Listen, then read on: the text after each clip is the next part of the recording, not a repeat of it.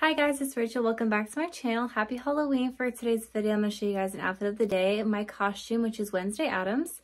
So we have my hair in little braids. My dress is from Amazon. I have on some leggings as well as my tops. Hope you guys had a wonderful day and I will see you all in my next video. Bye.